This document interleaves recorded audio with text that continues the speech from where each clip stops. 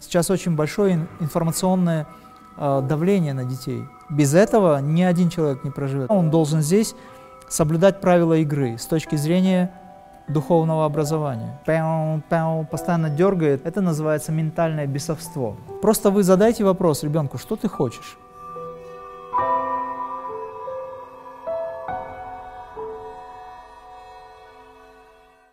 Да, что делать вот с подростками, которые выпадают из социума, да, вот э, с обучением, да, которые отстегиваются, не хотят получать наше Я понял вопрос ваш, да. да. И что, нет, и вот еще вопрос, да, что делать э, нам, родителям, да, которые мы же тоже несем за них ответственность, ну э, вот Смотрите, дело в том, что вот эти подростки, которые сейчас рождаются, у них сознание другое. Они приходят из других планов. Поэтому старая форма обучения им не подходит. Если, допустим, еще в Советском Союзе у нас была линейная форма образования, то есть у нас есть, допустим, понимание, что ребенку надо сначала выучить алфавит, затем слоги и так далее, и так далее. Сейчас совершенно другое восприятие у детей. Они воспринимают это объемно, достаточно объемно, у них сознание другое. Но я не имею в виду тех, которые просто демонический склад э, характера имеют.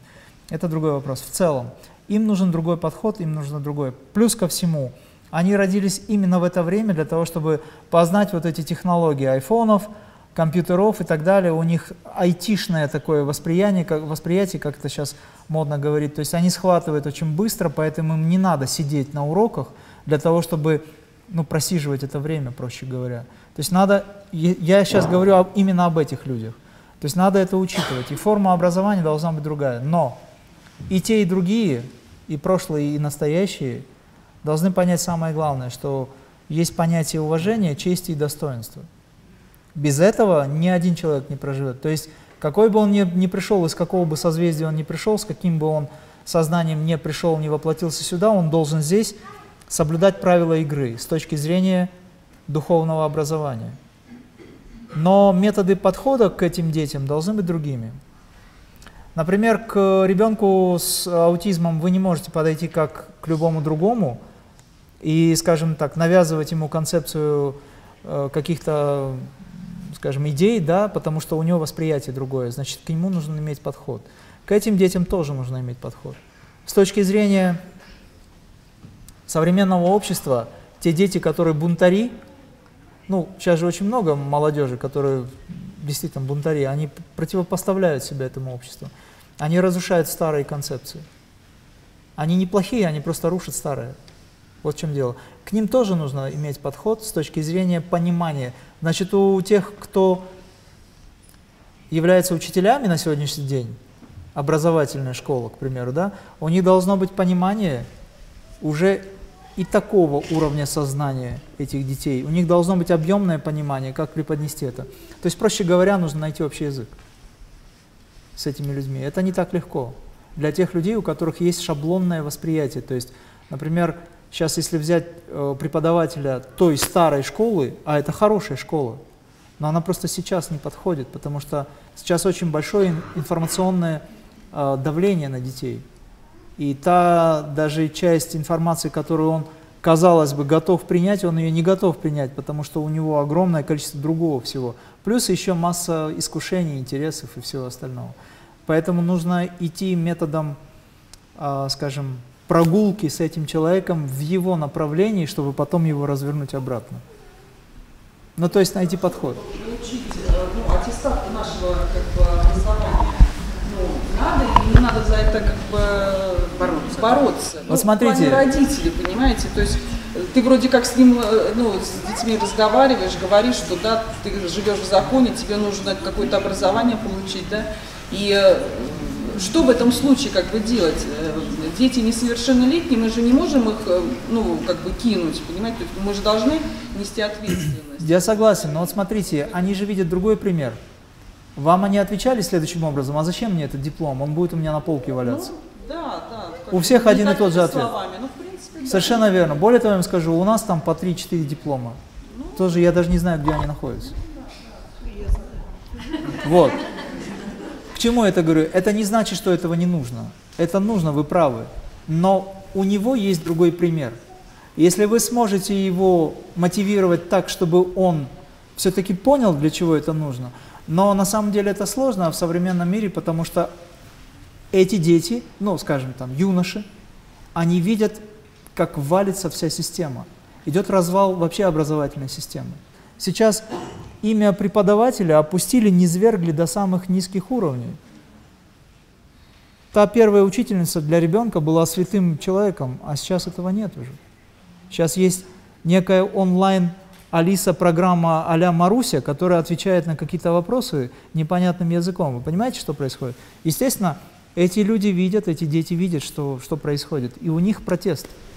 Нет, у меня просто ребенок был именно в такой системе вальдорской, да, но просто по форс-мажору, ну, как бы он выпал из этой системы, понимаете, и ему, ну, как бы в обычную школу ему не включиться, да, и сейчас он на выходе из школы, и ему не, ну, как бы он не готов вот к этой к экзаменационной этой системе, и я не Сколько знаю, лет ему? 17. Я Оставьте. не знаю, что с ним делать. Оставьте пока годик-полтора, пусть немножко в себя придет, он не знает, что он хочет. Вы, наоборот, найдите, найдите способ э, помочь ему определиться с тем, что он хочет на самом деле. Просто вы задайте вопрос ребенку, что ты хочешь? Оставьте школу, оставьте образование, просто что он хочет в жизни. Поговорите с ним на эту тему. Потом, когда он сам для себя определится, вы сможете ему подсказать, как лучше прийти к тому, к чему он хочет. И вполне возможно, что он включится. Потому что когда вы будете говорить, нет, тебе надо это, а у него в голове, допустим, там он хочет быть, я не знаю, пилотом-космонавтом, к примеру, да, ну, неважно, там, кем угодно. Вы просто найдите способ, дайте ему возможность немножко в своем соку повариться, тогда, когда он успокоится. И есть еще дух противоречия, если вы будете говорить «да», он будет говорить «нет». А если вы скажете «да, я согласна с тобой, сейчас непонятная ситуация, я тебя понимаю, делай, как ты считаешь нужным, я тебя поддержу в любом случае». Вот с этого момента, когда вы ему скажете, что вы его поддержите в любом его решении, он уже будет на вашей стороне. Но вы же все равно вынуждены его поддержать. Как бы там ни было.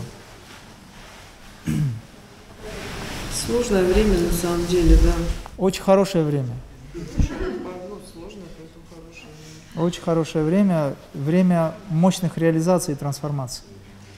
Все знания, которые я сейчас на сегодняшний день имею, я реализовывал именно либо в прошлом, либо в настоящем через практику. Вы эти знания нигде не получите, поэтому вашему ребенку переживать не о чем. Вы за него переживаете, а ему не о чем переживать, потому что будет именно так, как надо.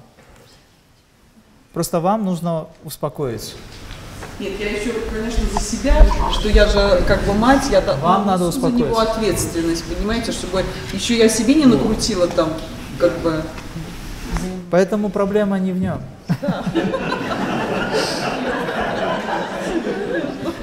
Ну, проблемы нет на самом деле никакой, все хорошо.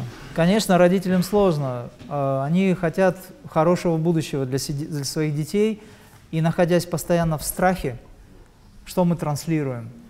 Мы транслируем страх будущего, страх за будущее, страх в будущем. Мы транслируем это. Мы сидим здесь прямо сейчас, куем эту карму, потому что боимся, что в будущем будет что-то, что может повредить и так далее. Тем самым мы теряем настоящее. Мы не ценим то, что сейчас имеем, а это большая проблема, действительно. Тогда, когда мы забрасываем уже свое сознание, ум так поступает. Он раскачивает наш алтарь, наш, э, нашу струну нашего позвоночника, начинает пяу, пяу, постоянно дергает, и мы все время нервничаем, потому что наша духовная вот эта составляющая, наш духовный стержень, все время раскачивается. Это называется ментальное бесовство. Мы должны успокоить свой ум через здесь и сейчас. Потому что в состоянии здесь и сейчас нет ни будущего, ни прошлого, нет ни сожаления, нет ничего, что может вызвать в нас какие-то э, состояния страха. Поэтому Хадижа говорит, что бы ни происходило, в любой непонятной ситуации входите в самадхи и все.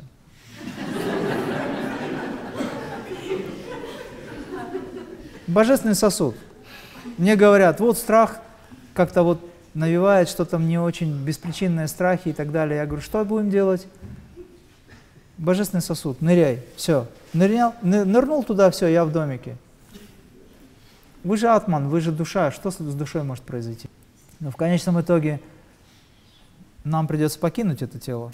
Даже если вы проживете как Бабаджи несколько тысяч лет, а то и больше, все равно придется покинуть это тело. Но вы покинете это тело не в этом состоянии осознания, а в состоянии совершенной беспристрастности, потому что вы практик, вы практикуете. Вы покинете тело в таком состоянии, в котором вы засыпаете, когда вам хочется сладко заснуть, и вам так кайфово, извините за такое слово, что вы просто не хотите просыпаться, вы с одного бока на другой, лишь бы заснуть, и вам прямо вот сладостный сон такой, только это сон не забвения, а осознанность. Вы в таком состоянии, чего бояться? В этом состоянии нет страха. Вам приятно.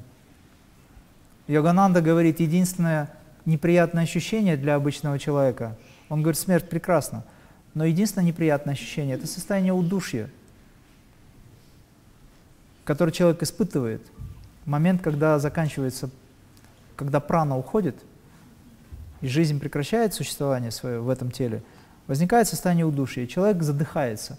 Ему неприятно, некомфортно, но потом раз и переходит, отрывается, как говорится, э, вот эта серебряная нить, и душа возносится. Но какой-то этап он испытывает неприятного ощущения. Но тогда, когда у вас есть 42-я крия,